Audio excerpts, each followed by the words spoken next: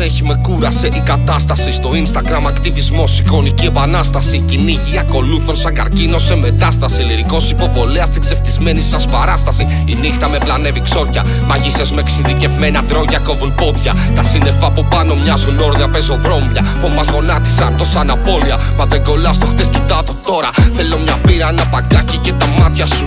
Θέλω τα φώτα να χάνονται στα σκοτάδια σου. Η καρδιά μιλάει μόνο με το βλέμμα. Συνήθως τελειώνουν με ψέμα.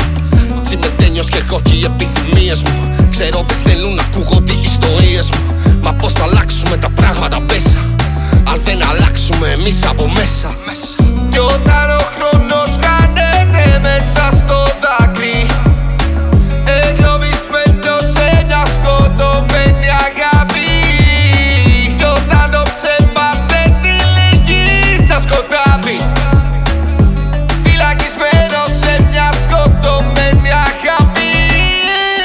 Εγκλωβισμένη μια θύελα μες στο βλέμμα μου. Ηφαίστειο κάθε λέξη, βρες τη σκέψη και σε αίμα μου. Η ελευθερία, μάθε το κοστίζει. Και οι θυσίες αρκετές όμως σου λέω αξίζει. Πεταμένοι από εδώ και από εκεί είμαστε όλοι μόνοι μας. Δεν μπορούμε να τα πούμε, δεν συμπίπτουν οι χρόνοι μας. Γι' αυτό στα γράφω στίχου να μπορέσει να με νιώσεις.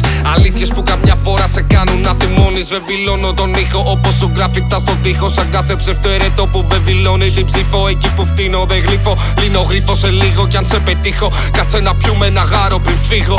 Έχω λοιπόν να προτείνω να σταματήσουμε. Κι αφού αυτοί μας σκοτώνουν, εμείς να ζήσουμε. Μια κοινωνία χτισμένη μέσα στη λάσπη. Παγιδευμένη σε μια τσιμετένια πάτη. Κι όταν ο χρόνος